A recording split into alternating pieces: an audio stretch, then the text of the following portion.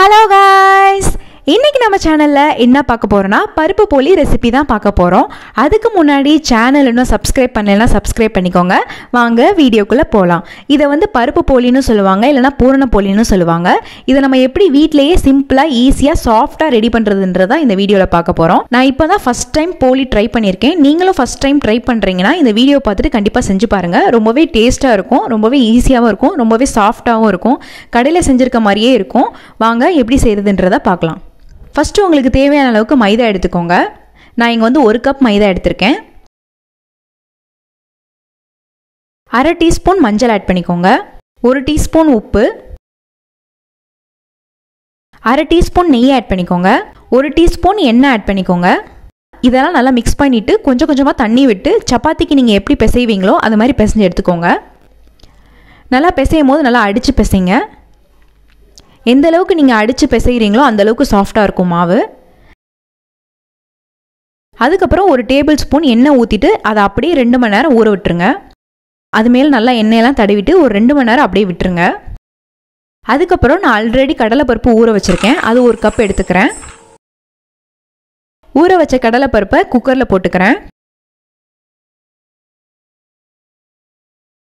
அது நல்லா முங்குற அளவுக்கு தண்ணி வச்சுட்டு நல்லா வேக வச்சு எடுத்துக்கிறேன்.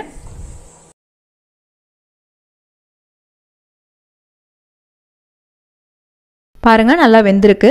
இது வந்து நீங்கள் ஒன் ஆர் டூ விசில்ஸ் வச்சா போதும். ஆல்ரெடி ஊறி இருக்கு ஸோ சீக்கிரம் வெந்துடும் இது வந்து குழஞ்சாலும் பிரச்சனை இல்லை உங்களுக்கு. நீங்கள் அப்படியே ஆட் பண்ணிக்கலாம். அதுக்கப்புறம் இதை நல்லா ஆற வச்சுட்டு நான் மிக்ஸி ஜாருக்குள்ளே போட்டுக்கிறேன். மிக்ஸி ஜாரில் போட்டுட்டு நல்லா அரைச்சி எடுத்துக்கலாம். அதுக்கப்புறம் ஒரு கடாயில் ஒரு கப் வெள்ளம் ஆட் பண்ணிக்கிறேன். அரை கப் தண்ணி. இதில் கொஞ்சமாக சால்ட் டேஸ்ட்டுக்காண்டி ஆட் பண்ணிக்கோங்க.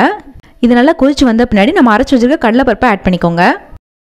ஆட் பண்ணிவிட்டு நல்லா மிக்ஸ் பண்ணி விட்டுக்கோங்க. தட்டி வச்சுருக்க ஏலக்காவை இதில் ஆட் பண்ணிக்கிறேன். அதையும் சேர்த்து நல்லா மிக்ஸ் பண்ணி விட்டுக்கோங்க. இதை நல்லா மிக்ஸ் பண்ணிவிட்டு ஸ்டவ் ஆஃப் பண்ணிவிடுங்க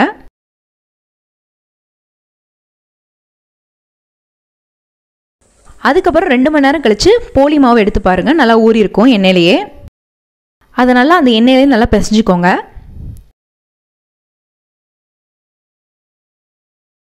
அதுக்கப்புறம் நம்ம ரெடி பண்ணி வச்சுருக்க பூர்ணத்தை எடுத்து வச்சுக்கோங்க. அதுக்கப்புறம் போலி மாவு வச்சு தேய்க்கிறதுக்கு ஒரு வாழை இலை எடுத்திருக்கேன். நீங்கள் வந்து பிளாஸ்டிக் பேப்பர் கூட எடுத்து வச்சுக்கலாம். நீங்கள் ஒரு பிளாஸ்டிக் பேப்பர் கூட எடுத்து வச்சுட்டு அதில் நல்லா தேய்ச்சிக்கலாம்.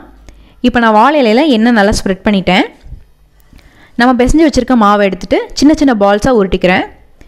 நம்ம எப்படி பூரிக்கு சின்ன சின்ன பால்ஸாக எடுப்போமோ அது மாதிரி எடுத்துக்கோங்க. எடுத்துகிட்டு இலையிலேயே நல்லா கை வச்சு இந்த மாதிரி தட்டிக்கிறேன். நல்லா அந்த மாதிரி ஸ்ப்ரெட் பண்ணி விட்டுக்கோங்க. நல்லா ஒரு தின் லேயராக ஸ்ப்ரெட் பண்ணிக்கோங்க. அதுக்கப்புறம் நம்ம ரெடி பண்ணி வச்சுருக்க பூரணத்தை நல்லா ரவுண்டாக பால் மாதிரி உருட்டிட்டு அது உள்ளுக்கு வச்சுருங்க. உள்ளுக்கு வச்சுட்டு நான் பண்ணுற மாதிரி நாலு சைடு இந்த மாதிரி பண்ணிக்கோங்க.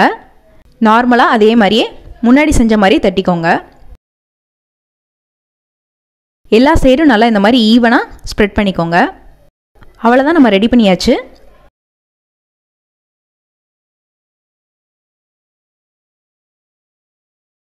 இந்த மாதிரி எல்லா போலியும் ரெடி பண்ணி வச்சுக்கோங்க.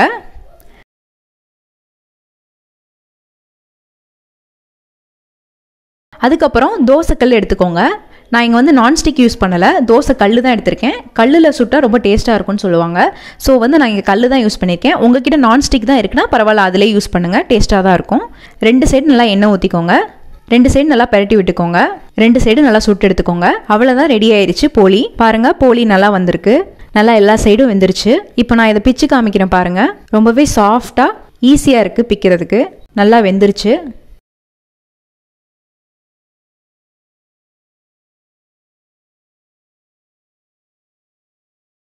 இப்போ நம்ம டேஸ்ட் பண்ணி பார்க்கலாம். உண்மையாகவே கடையில் நம்ம எப்படி சாப்பிடுவோமோ அதே டேஸ்ட் தான் இருக்குது கண்டிப்பாக இந்த ரெசிபியை வீட்டில் ட்ரை பண்ணி பாருங்கள் வீடியோ பிடிச்சிருந்தா லைக் பண்ணுங்கள் ஷேர் பண்ணுங்கள் கமெண்ட் பண்ணுங்கள் மறக்காமல் சேனலை சப்ஸ்கிரைப் பண்ணுங்கள் இன்னொரு வீடியோவில் பார்க்குறேன் பாய்